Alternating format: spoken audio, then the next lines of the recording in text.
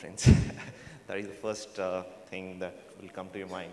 So, uh, you know, I made a transition, uh, I think two years back, about 18, 19 years in the industry, and now I'm a full-time professor at IMT. Um, it was a conscious move. So I have uh, advantage of seeing HR on both ends, actually. Uh, so I was part of a large multinational bank. Um, uh, and I am now part of an educational institute, which is IMT. So I've seen both sides, sides actually.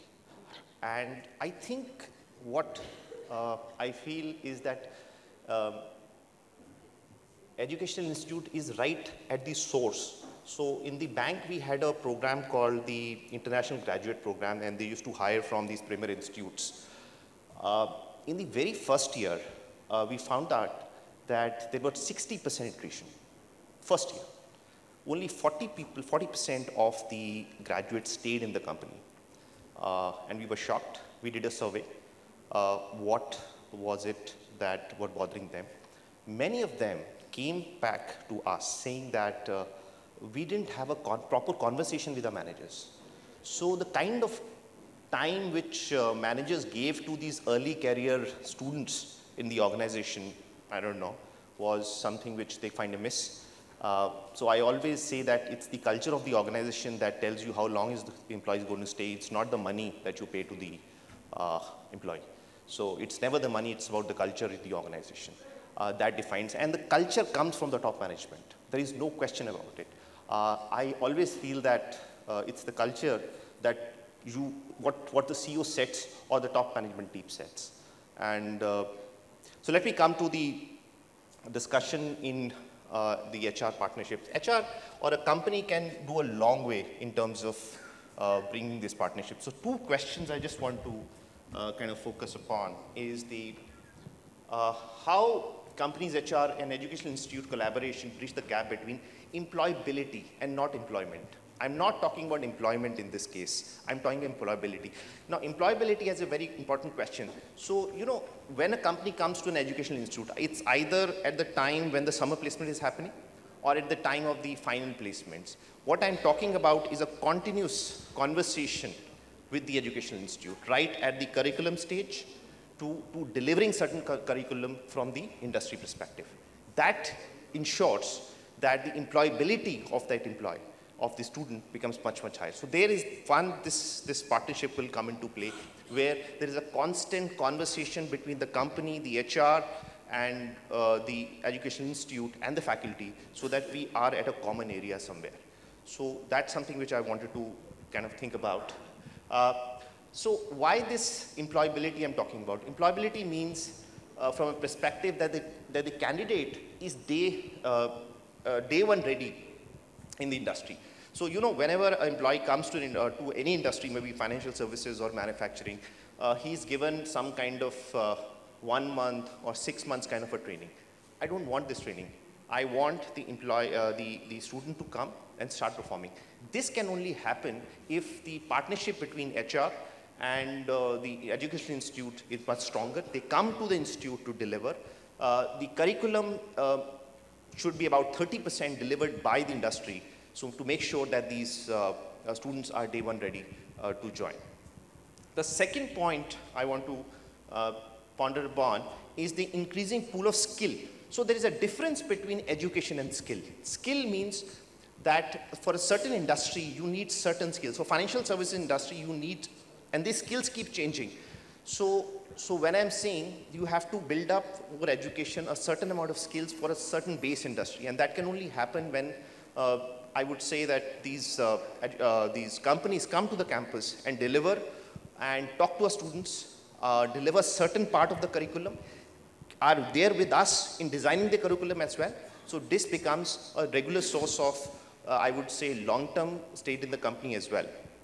One of the important things I want to talk about is the skilled workforce.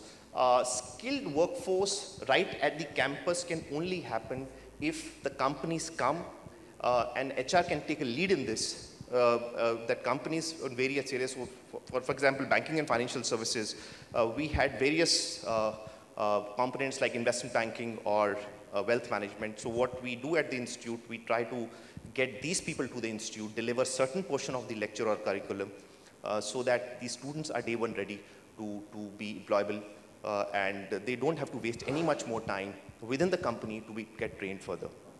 So these are the two questions I wanted to kind of look at. Uh, so what can look at, I have put in certain points. So one is curriculum, uh, curriculum alignment with the industry standards.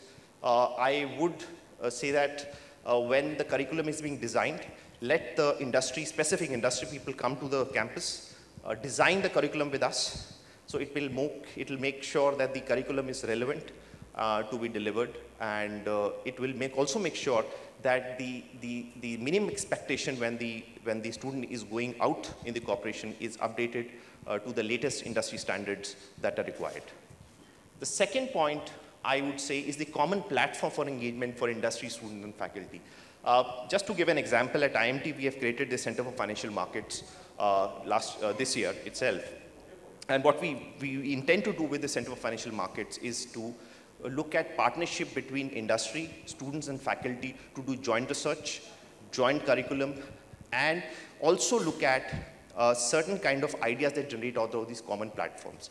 Uh, what it does is it gives a common platform to all the three, which are, in, which are, I would say, very, very important components that faculty, industry, and students also have a certain kind of a discussion uh, within the platform so that they are ready day one.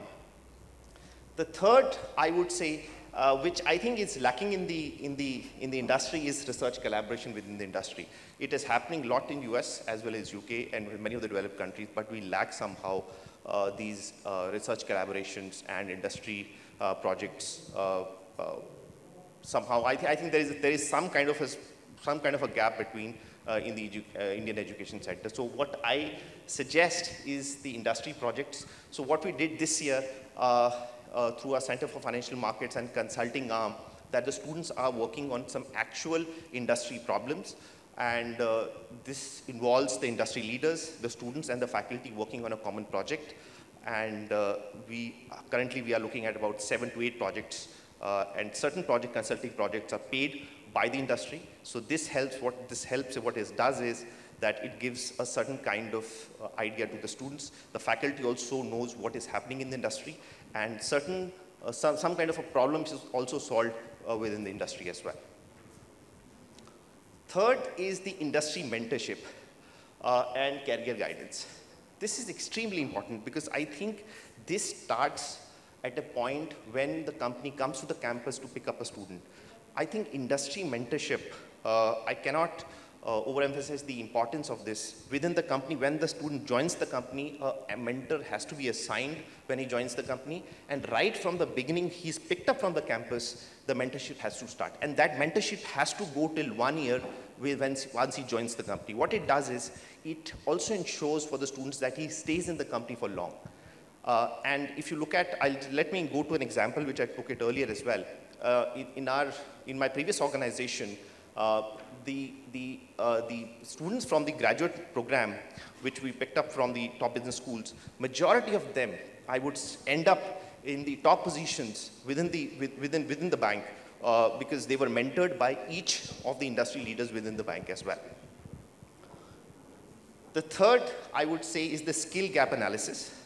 Uh, this also could be solved from a perspective of uh, industry coming to the campus and looking at students, where is that gap between the skill for specific sectors, for specific industries? Are we talking about financial service industry? What are the gaps from the current curriculum and what they can look at to build this gap? So this is, I think, uh, this. So these are the points which I thought that uh, require help from the HR, from the companies, that kind of gap.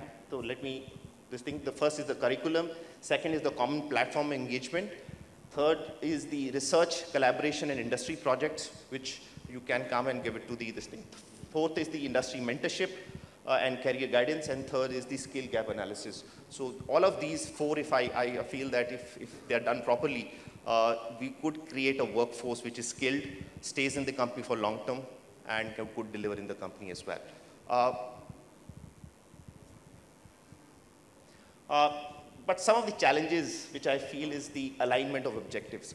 Companies have different objectives, am I right? And all educational institutes have different objectives. So there is, there is not a, there is a mismatch, mismatch of the alignments between the two, which I feel is a huge challenge. So somehow I feel that there has to be a common ground for the educational institute and the corporates to come together so that ultimately it's, you know, if the students joined a particular company, if he stays for longer, it's in the benefit of the company, am I right?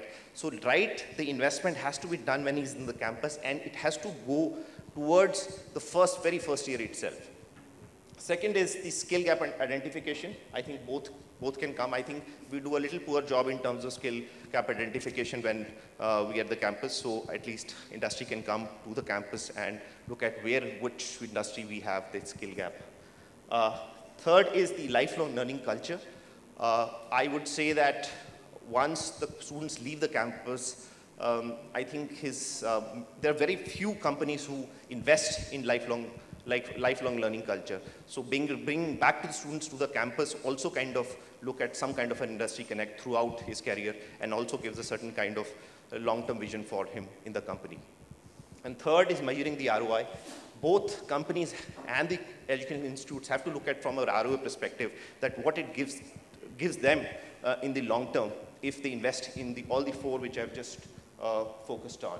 So, so the, to sum it up, what I'm going to say is that uh, uh, we, Educational Institute are right at the, at the cusp, right at the beginning of the source. This is the, this is the time, or this is the uh, time when the, they, the, the, the, the the, the students are looking for a long-term career in a company, this is the time when they, they have to be nurtured uh, by the company or the mentors and by the educational institutes. So overall what I'm going to say is that uh, it is a combined effort from the company as well as educational institutes that we can go a long way. Thank you.